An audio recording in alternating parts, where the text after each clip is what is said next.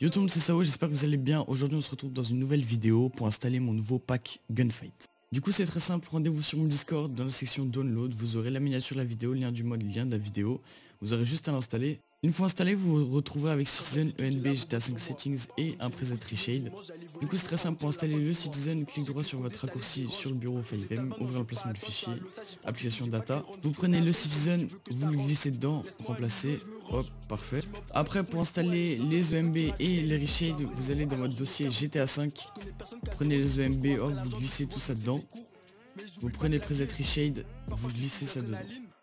Après pour installer vos GTA 5 settings c'est un peu plus compliqué, vous allez dans vos documents Rockstar Game GTA 5, cliquez droit, Edit avec Notepad++, vos settings, vous allez tout en bas, vous allez voir votre nom de votre carte graphique, vous copiez, vous copiez bien le nom, c'est très très important.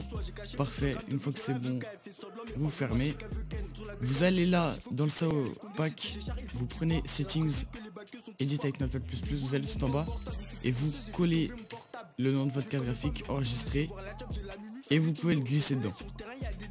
Ok c'est bon maintenant qu'on a installé le settings, on va passer au GTA 5 settings, Windows R, AppData, Roaming, Citizen FX.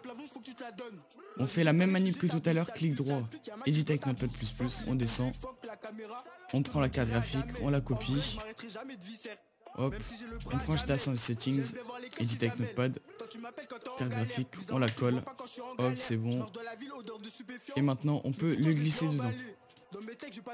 Du coup les gars voilà à quoi ça ressemble avec le SAOGF un Clear Night hein, euh, incroyable. Euh, pour ceux qui me demandent le pack son euh, c'est très simple c'est le pack son de mon ancienne vidéo. Vous allez juste aller rechercher dans mon discord il y a le download. Vous voyez hein, c'est un pack assez petit avec les routes il est vraiment propre.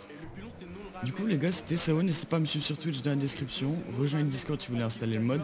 On se dit à très vite dans une prochaine vidéo c'était Sao. Au revoir